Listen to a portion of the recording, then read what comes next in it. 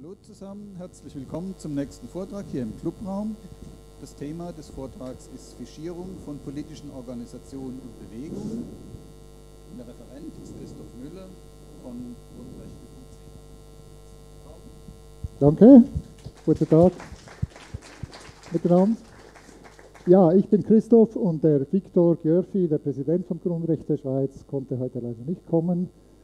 Ich werde euch äh, so etwas erzählen in diesem Ablauf mit dem Überblick, zuerst einen Rückblick auf den Fischenskandal von vor 30 Jahren, dann wie die Situation heute ist und was wir daraus lernen können oder versuchen zu lernen. Rückblick am Anfang war ein Telefon, ein Telefongespräch. Das ist eine Broschüre, die wir gemacht haben 20 Jahre nach dem ersten Aufbrechen 1989. So, das kann man alles dort nachlesen. Ein Telefongespräch zwischen der damaligen Bundesrätin Elisabeth Kopp an ihren Mann Hans W. Kopp. Das hat dann dazu geführt, dass eine parlamentarische Untersuchungskommission eingesetzt wurde, eine PUC. Man diskutiert das im Moment ja gerade auch wieder mit der Krypto AG, ob es so eine PUC geben soll. Die hat sehr viele Kompetenzen, die kann also Befragungen machen, in die Keller runtersteigen und so. Das haben die dann auch gemacht und haben dann in den Kellern, in den Archiven der Bundespolizei rund 900.000 Fischen und Dossiers gefunden. Das heißt, etwa 15 Prozent der Bevölkerung waren damals, hatten so eine Karteikarte. Wenn wir jetzt zählen so, wären das 1, 2, 3, 4, 5, 6, 7, 1, 2, 3, 4, 5, 6, 7, 1, 2, 3, 4, 7. Ja? Hier sieht man so einen Aktenschrank. Es gab dann einen Bericht, der PUC-Bericht, Vorkommnisse im EJBD, schöner Name, ja, die Vorkommnisse. Und es gab zusätzlich auch noch eine weitere PUC äh, zum Militärdepartement, EMD, die Geheimdienste waren damals getrennt, heute sind sie zusammengeführt. Der Hintergrund dieser Geschichte, dieser ganzen Fischierung, ist eigentlich die Angst vor dem Kommunismus oder war die Angst vor dem Kommunismus seit dem Zweiten Weltkrieg sehr stark. So, Kalter Krieg, ähm, ich weiß nicht, kennt ihr das Zivilverteidigungsbuch? Wer von euch kennt das Zivilverteidigungsbuch? Solltet ihr unbedingt mal lesen und reinschauen. Es ist wirklich haarsträubend, was dort alles drinsteht, so wie man sich verhalten müsste, wenn dann der böse Feind kommt. Das war so der Hintergrund. Das Archiv Schnüffelstadt Schweiz ist, äh, war dann eine Stiftung, sammelte, hat möglichst viele von diesen Fischen gesammelt und hier sind so zwei Beispiele. Ein 14-jähriger Radiofan äh, hat äh, Mos Radio Moskau-Sendungen gehört ja, und hat dann eine Karteikarte erhalten. Ähm, das zweite Beispiel, sehr, das sehr bekannt wurde, äh, über die Nationalrätin und trinkt abends gerne ein Bier, Ausrufezeichen. So, also da kann man sich dann fragen, was, was soll das? Ja? Zum einen sind diese Einträge oder viele dieser Einträge sind einfach dilettantisch, anfängerhaft. So denkt man, hä, was soll denn das Ganze? Aber man darf nicht vergessen, dass es auch recht gefährlich ist oder war. Es gab eine Extremistenliste, also einzelne von diesen Karteikarten waren besonders markiert und äh, in, in einem Krisenfall oder in einem Notfall hätte man dann diese Personen geholt, aus den Wohnungen, aus dem Ar vom Arbeitsplatz geholt und interniert. Das war alles vorbereitet, wo dann diese Internierungslager gewesen wären. So, und äh, es ist dann nie so weit gekommen, aber man darf, das, man darf auch nicht einfach nur so drüber lachen, was die damals gemacht haben. Auch wenn es, ich weiß nicht, vielleicht 99 Prozent äh, aus heutiger Sicht ein bisschen unsinnig ist, ist doch 1% oder 5% ist wirklich sehr gefährlich. So. Hier ein Auszug aus dem äh, Staatsschutzbericht der Stadt Zürich. So, neben dem eidgenössischen Bericht gab es in, im Kanton Zürich einen Spezialbericht, im Kanton Basel-Stadt und in der Stadt Zürich. Dieser Stadt Zürcher Bericht ist sehr äh, äh, interessant, weil er sehr ausführlich ist und auch in, aus einer kritischen Haltung herausgeschrieben wurde. Das ist ein Auszug von überwachten Organisationen. Das geht seitenweise weiter. Also wir haben zuerst da links oben die Alternative Bank, ABS, dann Christlicher Friedensdienst, Disco-Syndikat, GBH, Gruppen, XOA, Gruppe Schweizer Armee, IG Velo, Nogerete, dann natürlich Anti-Imperialisten, KGI, so, aber auch Parteien, Jungsozialisten, das geht dann weiter. Die Rote Fabrik ist übrigens dort auch aufgeführt. Die hatte auch eine solche Fische oder stand auch auf dem Radar der Überwachung. Die Stadt Zürich hat, das, hat äh, diese Abteilung KK3 aufgebaut im Auftrag des Bundes und auch die kantonalen Stellen waren so Filialen der Bundespolizei in den Kantonen. Und die haben ihre eigenen Fischen auch geführt, zum Teil doppelt, eine Kopie nach Bern geschickt. So hat es damals funktioniert. Die Folgen von diesem Fischenskandal zum ersten gab es so, nenne ich jetzt mal Revisionen. Ja. Es wurde ein Ombudsmann eingesetzt, der Odilo Guntern, CVP Wallis, ein älterer Herr. So, äh, und der hat dann äh, äh, der Bevölkerung oder allen, die eine Anfrage stellten, geholfen, dass sie ein, ihre Akten, ihre Karteikarten auch einsehen konnten, durften. Es wurde ein Datenschutzgesetz geschaffen. Vorher gab es äh, keine gesetzliche Grundlage für die ganze Fischierung. Und es wurde ein Staatsschutzgesetz geschaffen, das Bundesgesetz über Maßnahmen zur Wahrung der inneren Sicherheit, BEWIS. So, das sind so die, die Folgen auf politischer Ebene, wie man versucht hat, mit dem Problem, mit dem Skandal umzugehen. Und das ist nebenbei gesagt ein bisschen ein Problem, das wir immer wieder antreffen bei Grundrechte und wahrscheinlich auch andere Organisationen, wenn man sagt, ja, aber das geht nicht, das ist illegal, was Sie da machen. So, dann, ja, okay, dann machen wir halt ein Gesetz. Und da kommt man dann auch nicht wirklich weiter. So. Hier, äh, so, was ich auch unter Revision als Revision nennen könnte, äh, man hat gesagt, von jetzt an sind das nicht mehr grüne Sau, Anti-AKW-Sau, linke Sau, Pazifistensau, sondern das sind jetzt Menschen. Hm? Zweite Folge von der Zivilgesellschaft her Proteste. Rund 100.000 Menschen haben damals Akteneinsicht verlangt. So. 1990 wurde eine Volksinitiative gestartet, SOS, Schweiz ohne Schnüffelstaat. Die hat die Unterschriften relativ schnell zusammengekriegt, aber die Abstimmung wurde dann um acht Jahre verzögert, so, was eine lange Zeit ist. Der Skandal war dann inzwischen abgeflaut und äh, leider hat man dann haushoch verloren, also mit 25% Ja-Stimmen diese Initiative verloren. Die Stimmung hat sich geändert. So, es waren nicht mehr diese, die, äh, die Skandalsituation von 1989. Trotzdem sollte man sich ein bisschen in Erinnerung halten, dass das damals eine große, wirklich eine große, starke Volksbewegung wurde. Es gab Demos, die größte Demo bis zu dieser Zeit mit 30.000, 35.000 Menschen 1990. Schluss mit dem Schnüffelstaat und in der Mitte dann schnüffelt an euren eigenen Ärschen. So, das war die, die Parole oder die Haltung dann. Und es gab so auch Proteste, ähm, Sit-ins, vor dem Gebäude der Bundespolizei an der Taubenstraße, wo man einfach halt hingestanden ist und hat gesagt, hey, aber jetzt wollen wir Einsicht in diese Fischen und das muss aufhören mit dieser Bespitzelung. Also es war wirklich eine starke Bewegung. Man muss sich da auch ein bisschen vor Augen halten, dass, äh, in, dass es eine bestimmte, ein bestimmtes Zeitfenster war in der politischen Geschichte. 1989, Zusammenbruch des äh, Ostblocks, ähm, XOA-Initiative zur Abschaffung der Armee, so, äh, ein, eine Bewegung, die nicht nur jetzt von den Fischen herkam, von diesem Fischen, Fischenskandal, sondern eben auch weiter verbreitet ein, einen Aufruhr zeigte, so dass man nicht mehr so zufrieden ist. Also Ende des Kalten Krieges, das war sicher eine Krise für den Ostblock, ganz klar, aber es war eben auch eine Krise für den Westen, weil das Feindbild abhanden gekommen war. Oder das Feindbild hat nicht mehr dieselbe Präsenz gehabt. Das heißt, man musste dann wieder neue Feindbilder suchen. Das dauerte eine Weile. So, dann gab es 9-11, Feindbild Terroristen, Feindbild Bedrohung der inneren Sicherheit. Äh, das sind dann die neuen Stichworte, unter denen dann wieder die Geheimdienste äh, äh Informationen gesammelt haben. Technische Änderungen, das kennt ihr alle sehr gut, denke ich. Nicht mehr Karteikarten, sondern es sind Computerdatenbanken man hat eine Vernetzung, eine digitale Vernetzung, man kann die Daten digital sammeln, man kann sie kombinieren, man kann sie replizieren, man kann sie übrigens auch fälschen, viel einfacher, wenn sie digital sind. So. Und es gibt neue Möglichkeiten, die dann zu verarbeiten, mit Algorithmen, mit Ver Verknüpfungen erstellen. Wie das genau funktioniert bei der, beim Nachrichtendienst, wissen wir nicht oder wissen wir noch nicht. Wir würden das gerne mal ein bisschen herausfinden, aber äh, das ist noch ein, äh, ein bisschen ein Weg, bis wir dort sind. Also die Fischenfritze, das ist so das, diese Schnüffelratte war das Maskottchen der Bewegung sozusagen, ähm, das mit dem, mit dem Schlapphut, so, das äh, hat jetzt nicht mehr Fischen sortiert, so Karteikärtchen, sondern hat jetzt auch einen Computer bekommen und äh, hat dann die Fischierung auf Computern weitergeführt.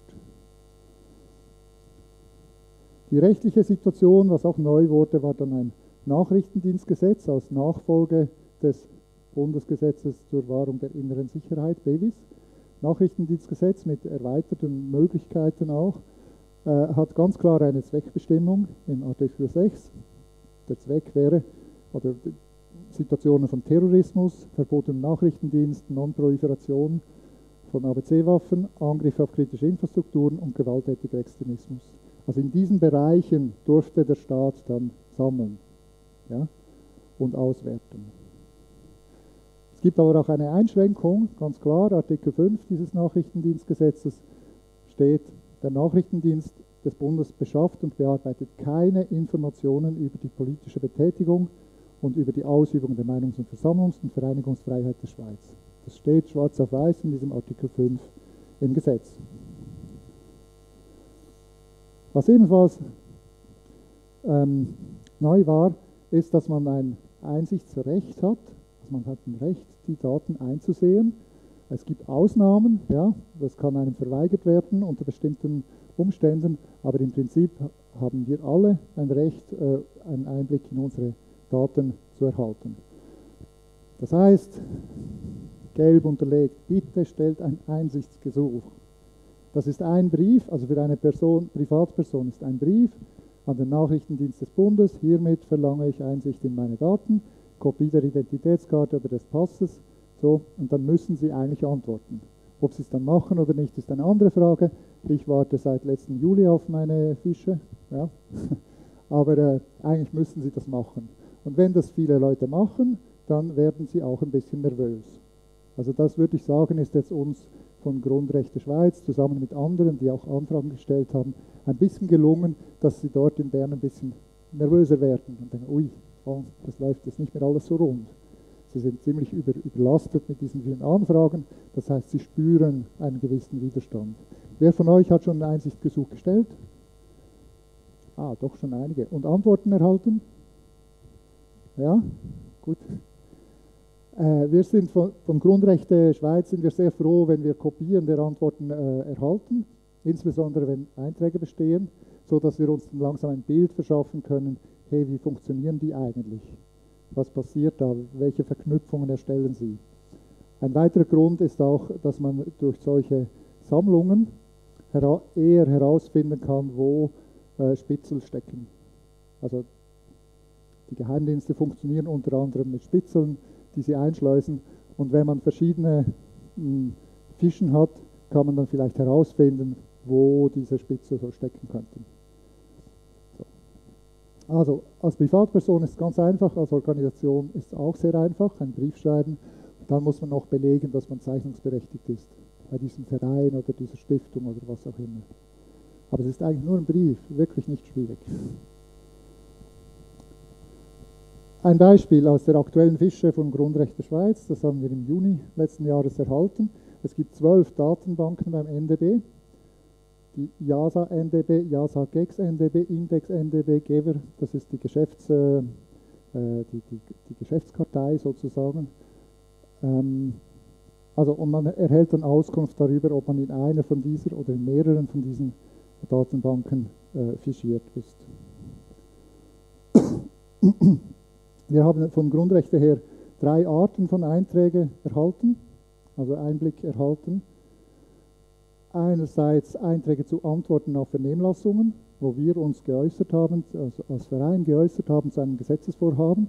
Das ist absolut hundertprozentig legal. Ich meine, was ist daran äh, terroristisch? so. Einträge aus Medienberichten, so aus Zeitungen, und das ist eher für uns ein bisschen absurd, weil es gibt eine schweizerische Mediendatenbank, es gibt LexisNexis, es gibt Factiva, also Datenbanken, die zwar nicht öffentlich sind, privat, aber die wir einsehen können. Also ich kann in eine Bibliothek gehen, in die Zentralbibliothek Zürich und dann in LexisNexis nachschauen, wo Grundrechte Schweiz erwähnt wird. Also dazu muss ich ja nicht eine eigene Kartei erstellen. Das gibt es ja alles schon. Und weil dieser Geheimdienst kostet ja auch Geld. Also man fragt sich dann, was die da machen. Drittens, und das ist vielleicht der interessanteste Punkt, zensierte Einträge, so, von denen wir nicht viel wissen. Ein Beispiel ist die Beilage 17 zur Tageslage. Ah, ah, Tageslage 22. Oktober 2015, geheim. So, keine Ahnung, was da steht. Es ist geheim. Sie geben mir eine Kopie, ja, danke. Aber ich weiß nicht, was da drin steht. Tagesbeilage 18, auch wieder so eine Tageslage. Offenbar produzieren die jeden Tag eine Tageslage und schreiben dann irgendwas hin. Keine Ahnung, was das ist. Oder hier ähm, ein kantonaler Lagebericht 2015 für BEWIS-Bereiche von einer Staatsanwaltschaft. Wir haben dann ziemlich schnell herausgefunden, dass es äh, ziemlich sicher Basel-Stadt ist, äh, weil das Logo, jeder Kanton hat so ein schönes Logo und das ist jetzt das Logo von, von Basel-Stadt. Keine Ahnung, was da drin steht. Allgemeine Bedrohungslage, irgendwas. Ja. Das ist natürlich dann ein bisschen schwierig. äh, also dort wird es dann auch gefährlicher als bei Zeitungsberichten oder so. Wenn ich das ein bisschen zusammenfasse, so diese ähm, Übersicht, hatte ich dann nur so ein Leuchtdings. Go.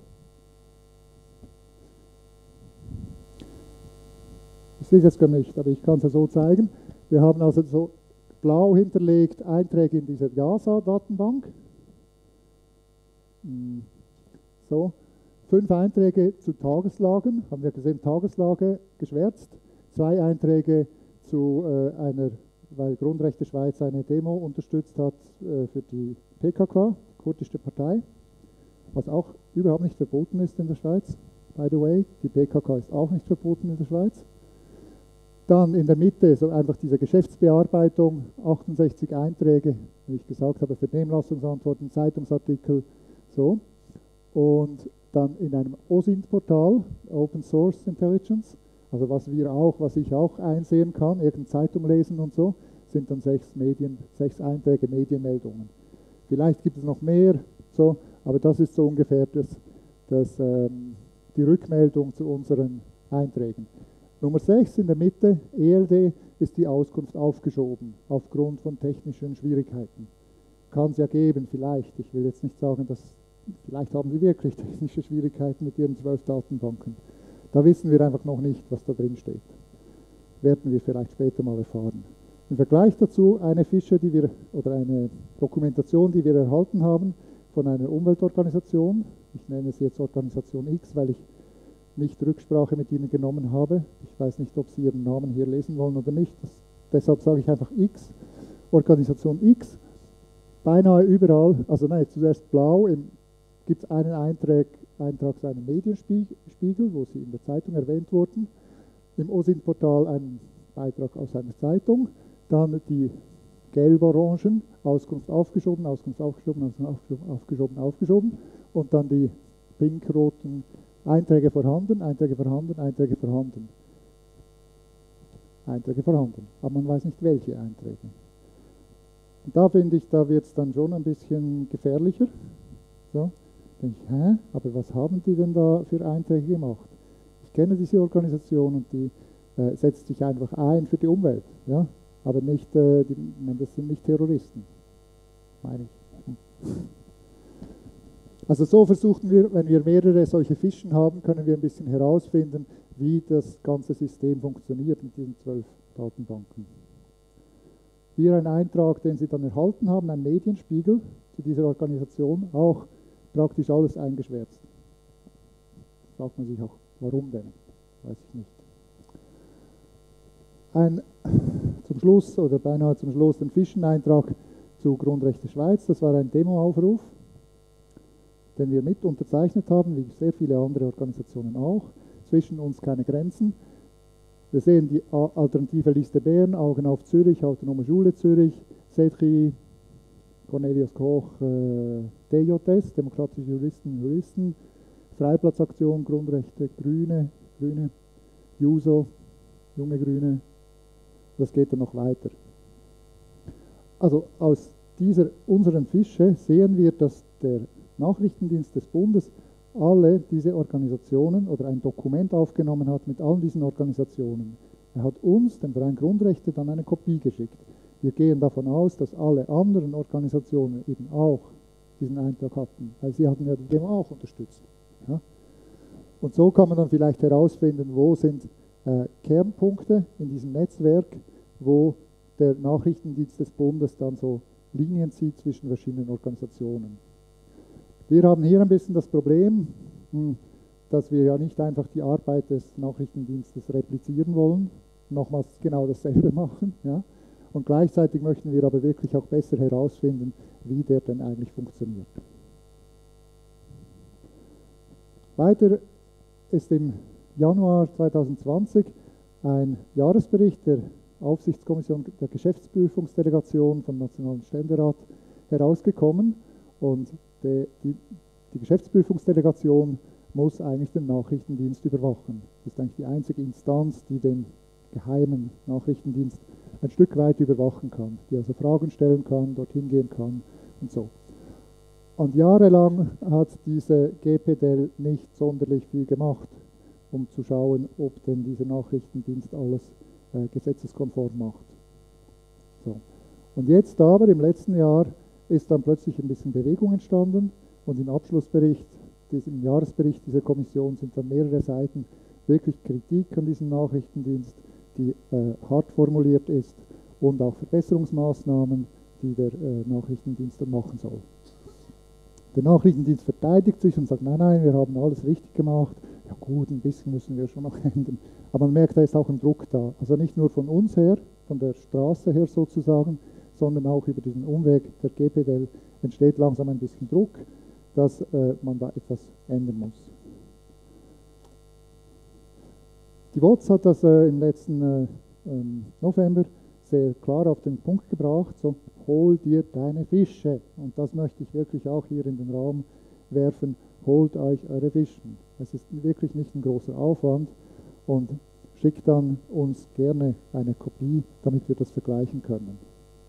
Einsichtsgesuchstelle, Kopie an Grundrechte. Die nächsten Schritte dann, was wir machen wollen, das Vorgehen ist jetzt uns noch nicht so klar, weil das ist doch auch ziemlich arbeitsintensiv. Wir wollen die Antworten zusammenstellen, die wir erhalten, die kopieren. So. Wir wollen Schlüsseldokumente finden, wie eben dieser Demoaufruf bei SOSF oder bei einem kurdischen Menschen. Und wir wollen auch herausfinden, welche Rolle verschiedene Organisationen spielen. Zum Beispiel der Bundessicherheitsdienst der im Bundeshaus für die Sicherheit verantwortlich ist. Offenbar hat er quasi automatisch, routinemäßig Informationen, die er dort gesammelt hat im Bundeshaus, dem Nachrichtendienst weitergegeben. So, das wissen wir ein Stück weit, weil da Einträge, ne, das hat die GPDL, die Geschäftsprüfungsdelegation hat es so geschrieben. Wir möchten das gerne äh, auch selber herausfinden. Gut, bestellt heute noch deine Fischen beim Nachrichtendienst des Bundes.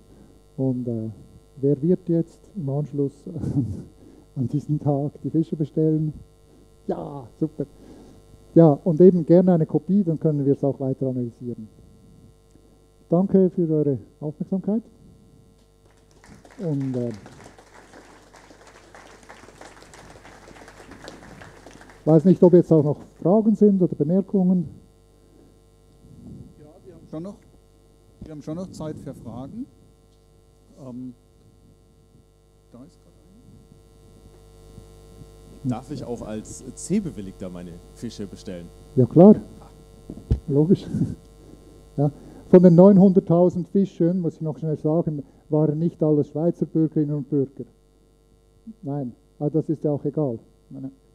Ja, die Ausländer sind besonders verdächtig. Es war ein größerer Anteil Ausländer, klar. Logo. Vor allem aus bestimmten Ländern und so. Ja. Gibt es eine Vorlage, für wie der, dieser Brief aussehen muss? Ja, so ein äh, bei Musterbrief oder so. Eigentlich wollte auch Katrin Weber heute kommen. Sie ist äh, langjährige Geschäftsführerin der, des Vereins Grundrechte Schweiz und sie war schon beim Archiv Nüffelstadt dabei und sie hätte dann auch noch Broschüren mitgebracht, aber sie war jetzt heute verhindert. Die www-Adresse seht ihr hier, HTTPS. Ähm, Grundrecht der Schweiz und dort findet man dann Musterbrief. Musterbrief für die Eingabe als Privatperson, als Organisation und Musterbrief für das Nachfragen. Also wenn der Nachrichtendienst dann nicht antwortet oder nicht äh, mh, zufriedenstellend antwortet, kann man an den EDÖB, an den Eidgenössischen Datenschutz- und Öffentlichkeitsbeauftragten gehen und der müsste dann dem NDB ein bisschen äh, Druck machen. Musterbrief und damit keine Ausrede mehr. Äh, Also ich habe meine Frage, also meine Anfrage schon gestellt an den Nachrichtendienst. Ich habe dann äh, eine Antwort gekriegt, wo eigentlich äh, im Wesentlichen drin steht, dass, dass das Gesuch aufgeschoben wird. Also ich habe eigentlich gar nichts gekriegt, mehr oder weniger. Ich habe das dann dem EDOP weitergeleitet und der hat mir gesagt, dass er mir in diesem Fall natürlich dieselbe immer wiederkehrende Antwort leider liefern werden müsse, nämlich dass er nichts sagen. Das ist ja alles so festgeschrieben im Gesetz, oder? Ja. Ähm, jetzt zwei äh, oder vielleicht äh, drei Fragen. Also, was sind eure Erfahrungen einerseits mit diesen äh, aufgeschobenen? Also, kriegen die irgendwann mal noch etwas oder sind die einfach aufgeschoben für immer? Ich weiß von keiner, die, wo der Aufschub jetzt äh, beendet wäre. Okay. Aber das kann ja noch kommen. Also ich will jetzt nicht diese Kritik machen, dass Sie das auf 20 Jahre aufschieben. Ich weiß es nicht. Vielleicht. ja. Dann ähm, zweite Frage. Also, das sind jetzt eigentlich alles Organisationen eher so aus dem linken äh, Spektrum. Habt ihr auch Gesuche gekriegt äh, von anderen, sage ich mal, Organisationen? Wahrscheinlich eher nicht, oder? Aber die müssten ja eigentlich gefährlich sein, denke ich mal. Ich weiß es nicht. Nein, aber wir haben auch nicht dazu aufgerufen. Also wir haben Organisationen aufgerufen, die, da, die ich gezeigt habe, so ein bisschen, äh, die uns politisch nahestehen. Wir haben, glaube ich, äh, so zum Beispiel die junge SVP und die SVP auch aufgefordert, Gesuche einzureichen, aber nicht weiter Organisationen am rechten Rand. Das äh, mache ich nicht. Und dann noch zur letzten Frage. Ähm, jetzt habe ich ein Gesuch gestellt. Also das heißt, mindestens in der Geschäftsdatenbank müsste ich ja jetzt irgendwo dann mal als Korrespondent auftauchen. Genau. Ähm, macht es daher Sinn, sage ich mal, jährlich so eine Anfrage zu stellen oder ist man dann gleich ein Gefährder? Ah, Ich gehe schon davon aus, dass diese GWR, die in der Mitte war, diese Geschäftsdatenbank, die ist einfach eine Adressliste wie ein Telefonbuch. Also da meine ich, ist noch nicht so viel Gefährliches drin. Ja. ja. Gibt es irgendwie eine Möglichkeit oder gibt es ein Recht, solche geschwärzten Passagen da Einsicht zu erhalten? Oder ist das einfach zu akzeptieren, dass was geschwärzt ist, das ist eben gefährlich? Oder? Nein, man kann sicher die Offenlegung verlangen, aber wie groß die Chancen dann sind, dass man damit durchkommt, kann ich nicht beurteilen. So, man sollte das sicher machen, werden wir auch machen. Aber ja, Sie wollen sich, das ist ein Geheimdienst, der will nicht, dass man ihnen in die Karten schaut. Ähm, Ist es richtig, dass Sie sagen können, es gibt keinen Eintrag, obwohl es einen gibt und Sie das verschweigen können, weil Sie sagen, es ist so brisant, dass wir das leugnen? Dann sagen Sie das, was äh, der Kapuzenrote Kapuzenpulli erhalten hat. Ja? Dann sagen Sie das. Hm?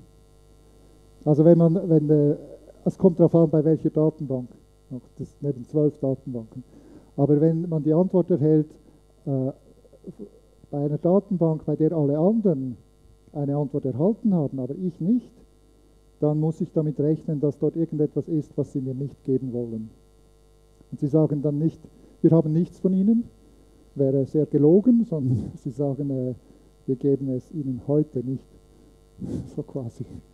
Also, sie lügen, damit sie nicht so sehr lügen, also sie lügen ja nicht, sie sagen, wir geben sie ihnen heute nicht. Da muss ich gleich nachfragen nochmals. Also sprich, wenn jetzt ähm, gar nichts vorhanden wäre, dann hätten Sie gesagt, es ist gar nichts vorhanden. Richtig. Also muss ich davon ausgehen, da ich jetzt aufgeschoben wurde, dass da potenziell was vorhanden sein könnte. Muss ich schnell- wo waren wir? Die verschiedenen Datenbanken, ja. Das war dieses Beispiel da äh, in der Mitte ELD, hm, weiß gar nicht, eine äh, Lagedarstellung oder was ist das? Ich kenne die Abkürzung nicht auswendig. Ähm, da haben wir bei allen Fischen, die wir gesehen haben, ist der Aus, die Auskunft aufgeschoben. ja, wegen technischen Problemen. So, kann sein, ja. Also wenn bei deinem Eintrag, wenn, wenn das aufgeschoben wurde, dann geht es dir so wie anderen auch, glaube ich. Hm? Hingegen, wenn, wie beim anderen Beispiel der Umweltorganisation, hier die anderen Auskunft aufgeschoben sind, dann ähm, haben Sie wahrscheinlich irgendwelche Akten, die Sie jetzt nicht rausgeben wollen. Sagt Eintrag ähm, vorhanden, sondern es heißt nur Auskunft aus, aufgeschoben. Genau. Das andere heißt Einträge vorhanden. Das ist eine andere Kategorie. Ich habe, ich habe auch noch eine Frage. Können Sie etwas über die technischen Möglichkeiten der Datensammlung gerade im digitalen Raum sagen? So? Also was, haben Sie eine Ahnung, wie, die das, wie Sie vorgehen, was, Sie, was, was für Instrumente Sie haben? Nein, das wissen wir nicht so genau. Es gab in, in diesem Bericht der äh, Geschäftsprüfungsdelegation eine große Kritik an der Abfragemöglichkeit der Volltextsuche, die wahrscheinlich über alle diese zwölf Datenbanken geht, stelle ich mir jetzt mal vor, die Volltextdatensuche und dass dann aber nicht vorgegebene Begriffe ausgewählt werden für die Volltextsuche, sondern dass jeder Beamte und jede Beamtin eigene Begriffe eingeben kann. Und dass dadurch natürlich nicht vergleichbare Resultate entstehen. So, also die, die, es ist nicht, ich denke, wir können sagen, dass diese zwölf Datenbanken nicht systematisch aufgebaut und miteinander vernetzt wurden, sondern eher so eine Art wie, da wucherte eine und da wucherte eine und da kam auch noch eine dazu und die musste man integrieren, weil die kam schon von früher her. So, also ich glaube, die haben schon noch aus. Aber vielleicht ist jemand da vom Nachrichtendienst, kommt das jemand? Na, es könnte ja sein. Ja,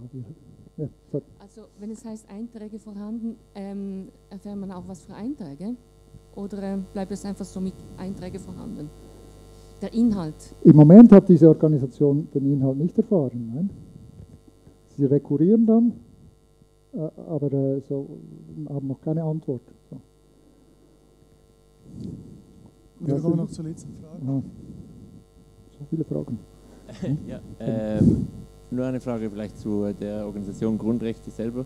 Ähm, inwieweit beschäftigt ihr euch auch mit so diesem neuen äh, Spannungsfeld zwischen so diesen technischen Möglichkeiten, die Nachrichtendienste jetzt haben, und den Demo demokratischen oder parlamentarischen Kontrollmöglichkeiten? Also mit diesen, also äh, sprecht ihr da auch mit den, also eben da kenne ich die Organisation zu wenig, aber sprecht ihr auch mit so diesen par parlamentarischen Kontrollgremien oder so, oder versucht ihr da Lösungen zu finden, wie man das rechtlich oder grundrechtlich regeln könnte, oder versucht ihr einfach zivilgesellschaftlich nachzuzeichnen, was der NDB macht?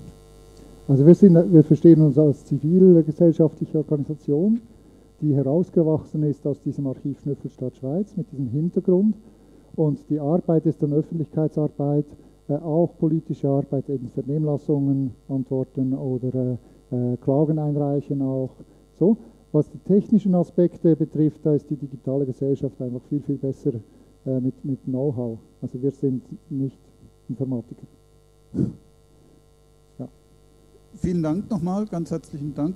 Ich denke, wir können, können, wir können in der Pause auch noch weiter diskutieren. Ähm, jetzt ist nämlich die ähm, ist eine längere Pause. Es geht um 15 Uhr weiter hier mit einem Vortrag über ähm, künstliche Schreiberlinge, wie man ähm, nichtmenschliche Diskussionsbeiträge erkennt.